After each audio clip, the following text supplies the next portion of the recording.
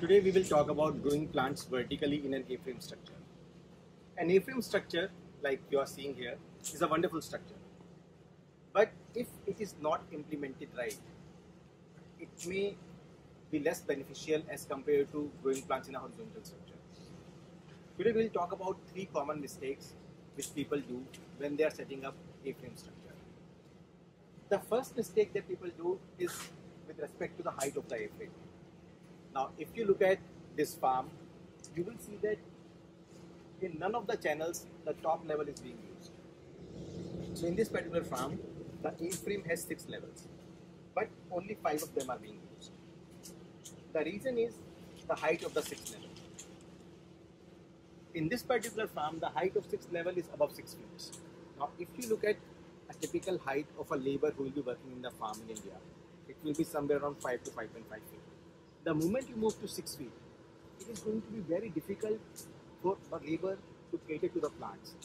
Think about tall plants. Let's say if you are growing some tall plants and if the plant is going another 2 feet above this, a labor will not be able to take care of those plants. So though money has gone into putting up these pipes, money has gone into putting up this infrastructure, but almost 15 to 16 percent of infrastructure is not being used because the height is low. So that's first mistake.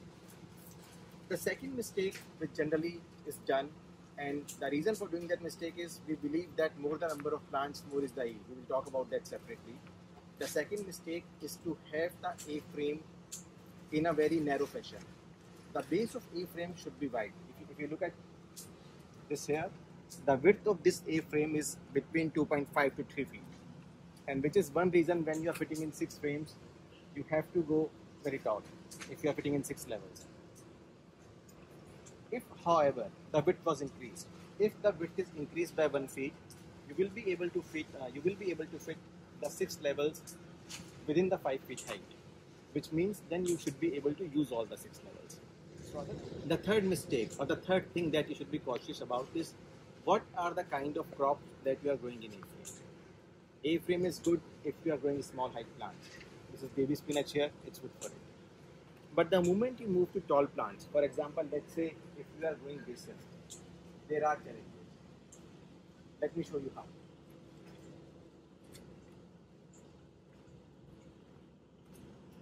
If you look at these basil plants, which are in the top layer, you will see the plant is growing tall and it's going in the right direction, which is vertical direction. And, and, and this plant is at the fifth level.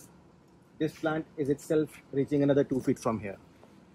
If we had grown this plant at the sixth level, then definitely no one will be able to take care of the plant. Now, this is still okay, but these plants are casting shadow on the plants down below. Look at these plants. The plants which are down below are growing outwards, which is not the natural direction of plant to grow. This will be more evident if you come here. See how these plants are growing. From a distance, this looks good. From a distance, it's not easy to observe. But once you start growing plants, you will realize that these plants are not growing in the right direction. And as the weight increases, the center of gravity of the plant will shift. And many of these plants will start falling out from the system.